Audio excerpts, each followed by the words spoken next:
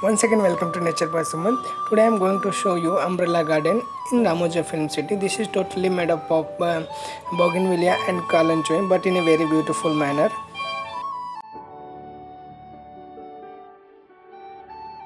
And this is kalanchoe, and commonly it is called a donkey ear plant because the leaves are resemble like donkey's ear, and generally it can grow in full sh- full sun to semi shade, and the flowers mainly come in the winter season.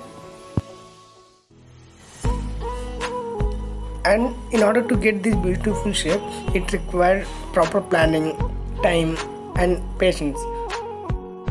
Initially they will let it grow and after that they have to install the framework in order to get the particular shape by mm, regular pruning and training and this garden can be seen in many bollywood and tollywood movies. For example uh, one song uh, i remember one song that uh, main la laila chillaunga kurta falke that is a hindi song. Uh, it has been shooting the shooting has been done here.